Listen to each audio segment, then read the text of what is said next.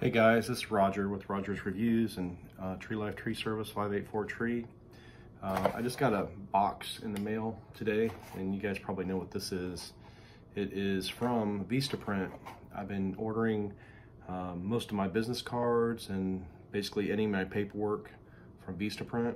Been using them for over 15 years and I just got in my new business cards and these might look like regular business cards, but they're not. These are the plastic, and I always go for the thick ones. These are basically the exact size and shape as a credit card. So they fit nicely in the wallet. Um, they're very durable. Um, they last forever.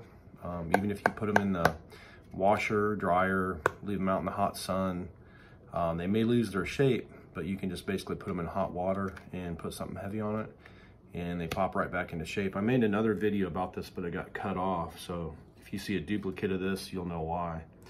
Um, I just wanted to be, briefly talk about um, how I market and this, this works in multiple businesses, but uh, I just use it for basically my tree work and my YouTube channel. Um, also too, I put the QR codes on the front and back. And if you do put a QR code on your business cards, make sure you have a white background. Because um, last time I tried this and I got the business cards and I tried to scan them and they wouldn't work because it didn't have a clean background. So that's why you see on the back here, I actually whited it out and put the QR code in the middle of the white square because uh, basically it wouldn't scan correctly every time. So if you are putting QR codes on your business cards, do it like that. Put a white outline square box first. If not, um, if you have a white background, usually it works, but try to scan it first. Uh, maybe just order a few cards and uh, try it uh, before you order a bunch so you won't waste your money. Also too, I wanted to talk about um, like referrals and also too, uh, thank you cards a lot of times you'll get uh, referrals um, and a lot of it comes from just being uh, good with people, uh, doing good work, but also two reminder cards. Every time um, I have some tree work done, I always take a picture with a customer. Um, I always get a customer testimonial almost every single time. It's very important. That's why it's good to be on every job site. You know exactly how the customer feels. Um, also, too, the customer is usually excited once the job's done. It's fresh in their mind. They know exactly what you've done. They've been watching you all day or for a couple days, and they know that you take care of what you do. That is the perfect time to get a customer testimonial. If you wait a couple days, or sometimes you can't even catch up with them because people are busy. So um, a good time to do it is when you're finishing up the contract, you're walking the job site, and you know it's fresh in your mind. They realize uh, all the hard work it took to get the job done completely, and usually the customers, uh, when you walk around the job site and you show them you did every single thing and you went above and beyond to make them happy, they usually are basically not hesitant at all uh, to give you, and that's when they're going to give you the best review. And also too, you just remind them, you, you don't have to, because some, some people are reluctant to be in front of the camera. Just remind them, hey, you know, I can delete this video. Uh, we can do do it again. I can show you before I air it, or I can just put it in a specific place. If you don't want everybody to see it, I'll just use it, um, you know, basically for other customers. So just find out, um, you know, why they're reluctant to make a video. And sometimes too, uh, they don't want to be on film. So basically what you can do is have them speak and just show a picture or a uh, video of the work that you did. That way they don't have to be on camera, but you still get the customer testimonial. If they don't want to do that, you can also uh, give them, um, they also want, they might want to do it on their own. So they can take, you know, give them your website or give them your YouTube channel or give them your email address or having them basically send you the video, they might want to make it themselves, or at least they can uh, you can send them to a website or have them Google your uh, listing and have them give you a, a, a five-star review or a good review. So you want to get something off every job because um, when people are looking for uh, a tree service or they're looking for any type of business, nine times out of ten they're going to go they're going to Google it. Uh, they're going to go to Yelp. They're going to go to one of the search engines, and they're going to basically look up a couple reviews, at least a couple um, reviews on your company and what other customers have said. So the more listings you have, the more YouTube videos you have, the better chance uh, you have of them finding it and hopefully giving you, uh, seeing you at work and other customers approving of what you do. So another thing I highly recommend is thank you cards. Every time I do a job, I take the proposal back to the office and I write on the top, paid in full, credit card, cash, however they paid. Uh, make sure that we know that they completely paid, there's a zero balance, um, and then we send them a thank you card. And I send them a personalized thank you card. Um, let me see if I can grab one real quick, show you what it looks like.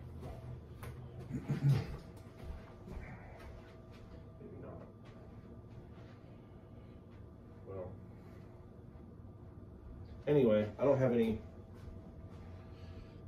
I don't have any right here, but it's everything, all my uh, stock looks the same. Everything has a picture of me and my daughter on it. And uh, basically it just reiterates, like everything I have has a picture of Tree Life Tree Service like that. That's the front cover. In the middle has a picture of me and my daughter holding a chainsaw. And it's important if you have a small business to let people know, hey, we are a small business. Um, we work in your local area. We live in the local area, and we also smart, support small business. And your referrals um, basically help small business and they help the local economy. So basically, when they use you, they're helping themselves. They're helping basically boost the local economy and uh, build build up the neighborhood. Uh, it's more cohesive if you use local businesses. And whenever you spend money and use small businesses, that money gets basically recirculated locally and it really helps the economy. And when people realize that, they have a tendency to try to use other small businesses, especially if you do.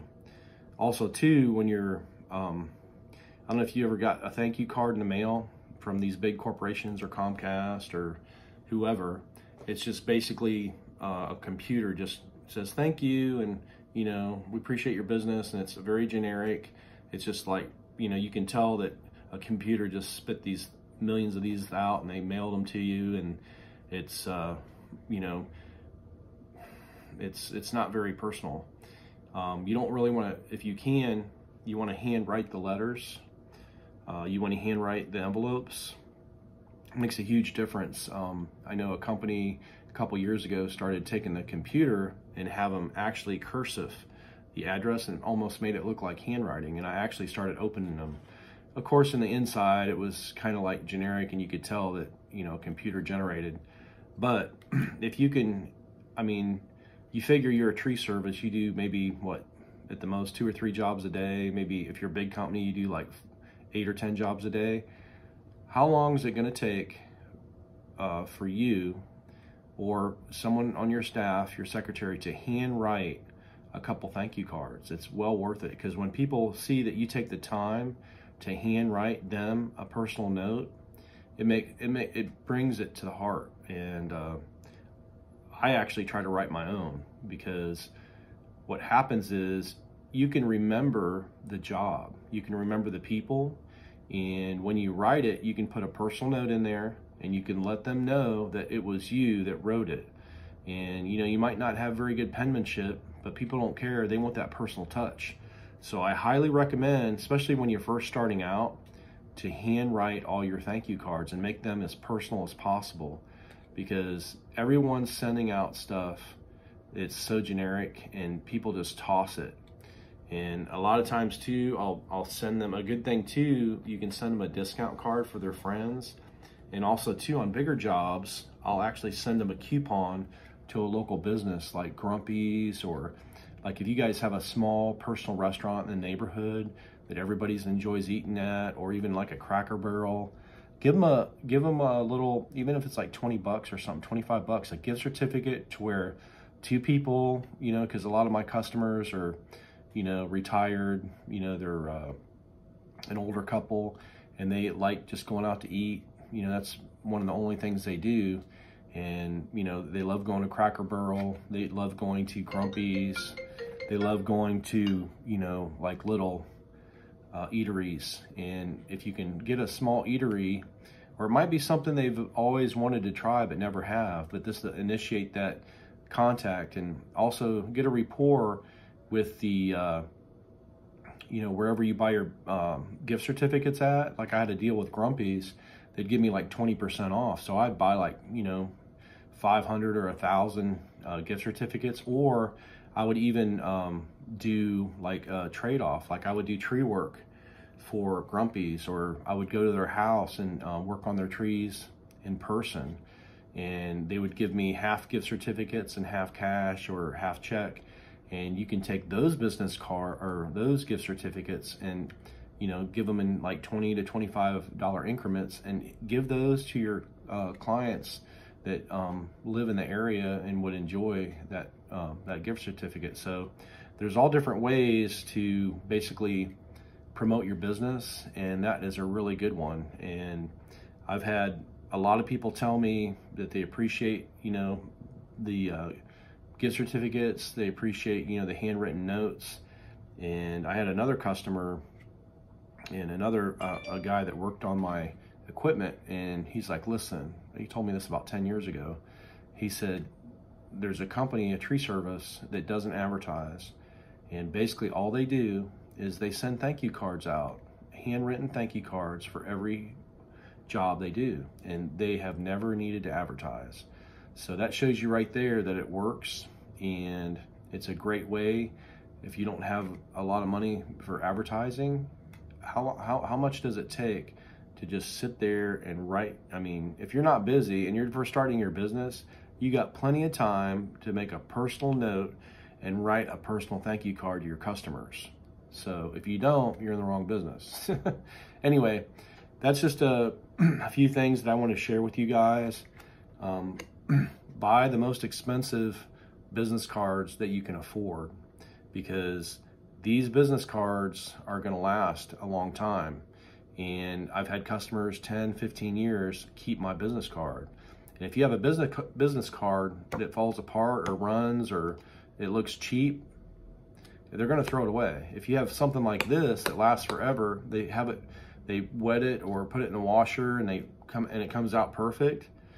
They're going to keep it. They're going to at least throw it in the in the junk drawer or they're going to put it on the refrigerator um, another thing I like to do is get magnets. If you put it on the refrigerator or you put it on uh, like an electrical appliance or if they throw it on their uh, electrical panel, it's an excellent way, especially if you're an AC contractor or um, HVAC and you can, or electrician, and you put that magnet on the panel. I've, I've seen these 50 year old magnets on panels and they're still there you know, four or five people have bought the house, and guess what? They look at the panel, they look at their air conditioner, and a lot of times they'll call that number because it's been there for so long, and the people that used to be there used them, so they know that AC unit, they know how their panel works, they're familiar with it. So, um, yes, magnets I highly recommend. Also, too, when you're passing them out, you can stick in the garage door, mailbox, whatever.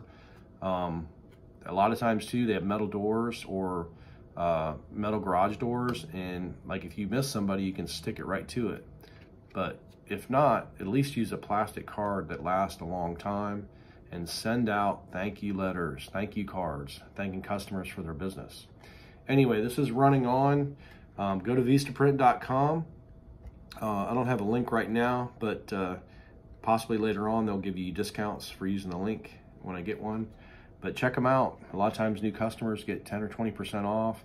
Uh, sign up for their email. A lot of times they'll send me 25, 30, 40% off on the whole entire website. Um, just a great way to, uh, you can design your own business cards like I did. Just take a personal picture and um, put some numbers on it and you can make it exactly how you want. Um, make it different from everyone else's. So If you like this video, please crush the like button and subscribe. We also have a Patreon page if you want to support the channel. And most of all, thanks for watching and have a great day and good luck with your business.